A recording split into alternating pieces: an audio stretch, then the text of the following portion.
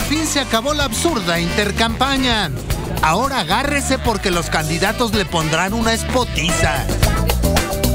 Más de 16 millones de anuncios en tres meses, a los que habrá que sumar la oda a los lugares comunes. Ahí tiene a Josefina, que se desveló buscando el hilo negro en materia de educación. Necesitamos menos política y más calidad en educación. De paso, necesita un poco de claridad en sus escenarios. El de Macuspana también se levantó temprano y le salió el superhéroe que todos llevamos dentro. Voy a luchar por la justicia. Me comprometo a entregar mi corazón al pueblo de México. El amor hace milagros. Lo mismo en Tabasco que en Jalisco. Mi compromiso será cambiar a México. Vamos a hacer que México se levante.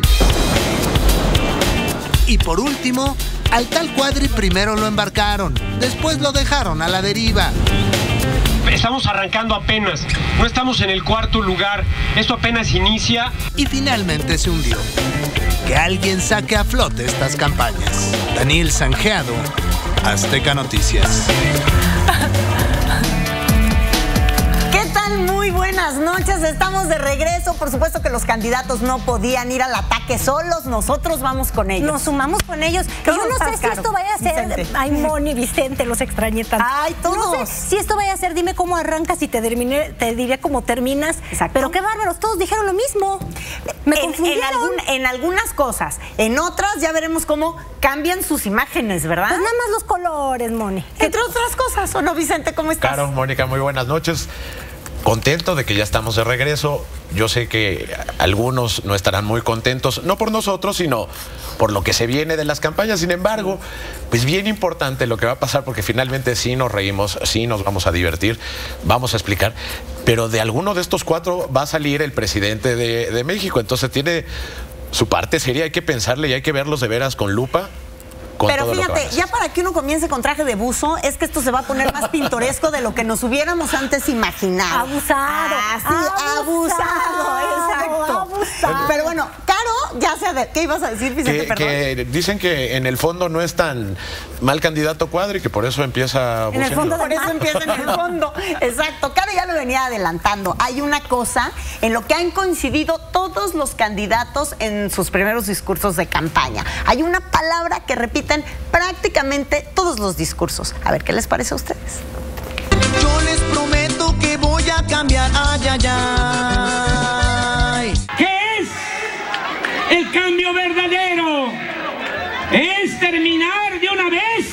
Y para siempre con la corrupción imperante en nuestro país.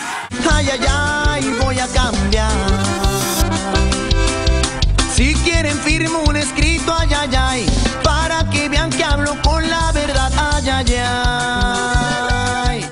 Voy a certificarlos ante notario público. Mi compromiso, mi compromiso será cambiar a México.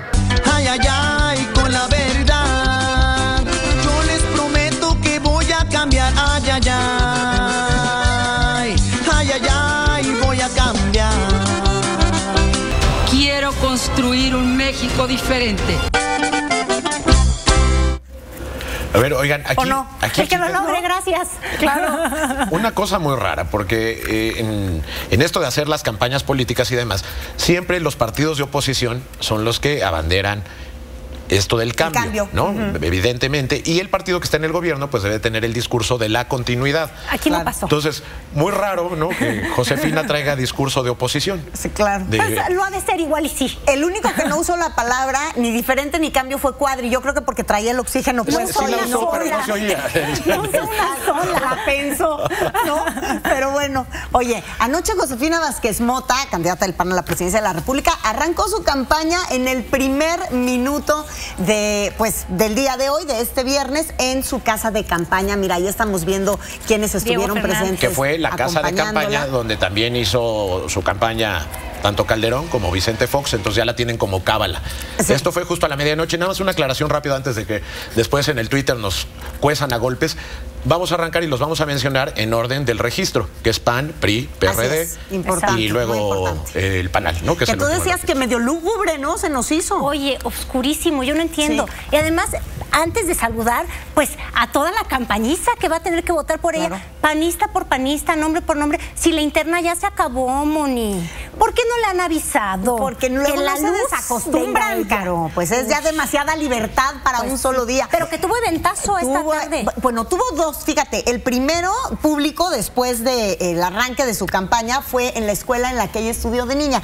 Mi patria es primero, se llama la escuela. ¿Les gustaría estar más horas en la escuela? ¿Quién dice sí? Bueno, está reñido, está reñido. No, está cantado que a cualquier niño que le vaya, eh, no quieres estar más horas en la escuela, pues no. ¿Quién quiere pagar más impuestos? Ándale. ¡Qué bárbaro! Exacto. Bueno, ahí ella hablaba del respeto a las instituciones educativas y demás, evidentemente, porque parte ya lo vimos en, sus spots y seguro lo han visto, tratan de destacar cuando ella fue secretaria de Educación Pública que logró la evaluación de los maestros y el concurso. Entonces. Pero mira, ahí hay un colado que se subió con una con una pancarta él ¿Ya la leíste? ¿Ya Y lo peor del caso dice la UNOM no es un monstruo. con semejante falta de ortografía. Bueno. Monstruo. ¿Cómo? Pero y dice que se licenció de la UNAM. Exacto, pero Oye. todo esto en reclamo, pues aquella declaración que hizo. A la José- tesis, bueno, bueno, ¿qué hizo? A la tesis, A la más bien, de tesis que escribió Vázquez Mota, en donde ella decía- 1998, es reciente su Pero tesis, ¿sabes no qué? es Yo creo que fue una interpretación extraña. Posiblemente ella se refería al monstruo como de lo grande que era la UNAM, Es no que fuera un monstruo Es intelectual. campaña y ¿no? lo que se diga es y será usado en tu contra. O sea que hay que Pero ella se con- def- con aprovechó para defenderse. Hoy reitero mi respeto y mi profundo reconocimiento al Politécnico Nacional, a la Universidad Nacional Autónoma de México, a todas las instituciones que nos han permitido no solamente aprender mejor, sino nos han permitido la paz social y la gobernabilidad. Bueno, ya entradita la tarde-noche se fue a Puebla, a Teciutlán. Ahí sí ya arrancó con un masivo. Y en Oye, el- que reunió como 30 mil personas. ¿no? ahora sí le salió bien el masivo. Eso les hubiera servido para el Estadio Azul, que ahí eh, Es les falló un poquito. digo. Recuperó No. la honra, hay que darle chance. Oye, pero fíjate, el que se fue a tierra panista para arrancar su campaña, para llenarla además de priistas como una franca, pues Sí. afrenta de que ahí voy por ti, en Jalisco y en Los Pinos, fue Enrique Peña Nieto. También medianoche También arrancó ahí- medianoche. ahí, su campaña. Y es que dicen que va bien el candidato a gobernador, y que por eso quiso arrancar ahí. ¿Cómo no? Mi compromiso, mi compromiso será cambiar a México. Vamos a hacer que México se levante. El cambio será por un México con rumbo, unido y en paz. El cambio que queremos es por un México más justo e incluyente. Cinco ejes centrales propuso ahí y otra vez lo mismo que hizo de gobernador, lo va a volver a utilizar, tel- firmar sus compromisos ante notario para después tener ahí todo el bonche de compromisos. empezó, ¿no? Pero pues tampoco, tampoco se fue, digamos que en blanco, así como Josefina tuvo su. No, todos. Oye, pues en un primer arranque todos tenían que trastabillar un poquito. Enrique Peña Nieto pues no fue la excepción. Tuvo su momento peorcito. Oye, ¿a cómo bebió agua, eh? Ah. Ay, yo lo veía, yo le vi por lo menos tres vasos así. Muchos mexicanos viven angustiados y lo que es peor, viven con miedo. Bueno, y ahí lo que hay que cuidar sobre todo son las formas. Fíjate, al final del discurso, pues lo, lo acompañaba su esposa, por supuesto. Y bueno, bueno, uno que no sabe de estos protocolos de campaña, pues evidentemente te le avietas a los brazos y. De veras y- te lo hubieras aventado si ya lo tienes ahí todos los días. Pues Moni. no importa, es el primer día de la campaña, Oye, pero no- justo cuando terminó se hicieron como nada más así un saludo como muy ¿No le habrá pasado lo que, protocolario. lo que a Navarrete con el presidente, que no, era el- crees? que no lo tenía que No, saludar y que sí? Qué Navarrete. Ah, sí fue a Guadalupe pero, Acosta pero es lo mismo, es una confusión de protocolo, mi Exacto, querido. es que así nos pasa en el el primer día de, de campañas. Pues sí, pero y después fíjate que se fue fue a rodear de mujeres. Ah, se fue fueron a a, pasear, un ¿verdad? eventazo, se fueron a pasear, pero luego tuvo un masivo con mujeres porque creo que ese fue el segundo mensaje.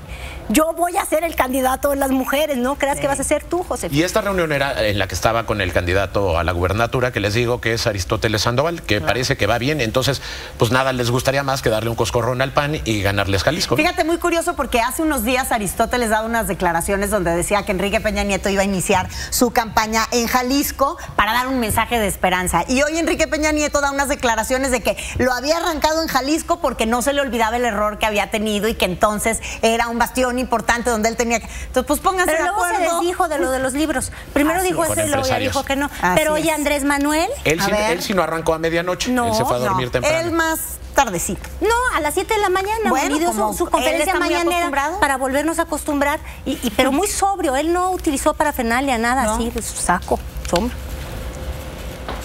Estoy optimista.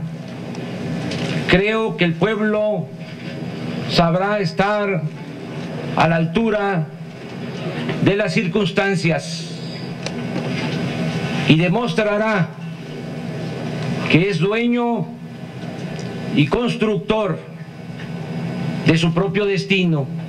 Oigan, los que sí estuvieron muy activos a la medianoche es la gente de redes sociales de Andrés Manuel López Ah, Obrador, sí.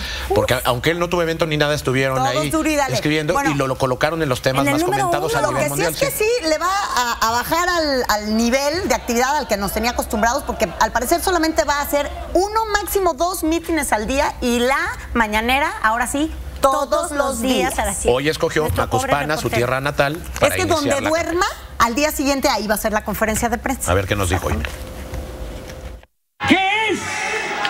El cambio verdadero? Es terminar de una vez y para siempre con la corrupción imperante en nuestro país. Cambio verdadero es sacar de la pobreza extrema a 15 millones de mexicanos.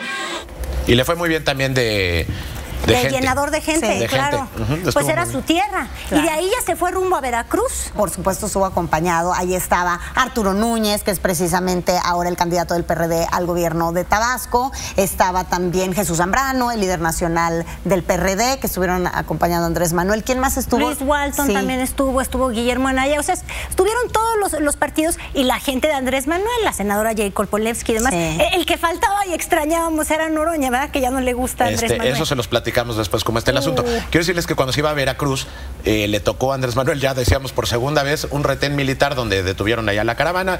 No pasó a mayores, nada más lo revisaron como a todo el mundo, pero quedó inmortalizado en una bonita Pues foto. ya es la segunda vez que lo detiene un retén y en Veracruz, ¿no? Oiga, lo que la gente está esperando, por favor. En Veracruz, hablando de Veracruz, bueno, el traje de el arranque de campaña más pintoresco que recordamos en este país es el del candidato del Partido Nueva Alianza a la presidencia de la República, eh, Gabriel, Gabriel Cuadri, que se vistió Se de unió, buzo mira lo y se ave- pues claro, mira. Oye, a mí lo que me causa gracia es que ¿quién lo está acompañando?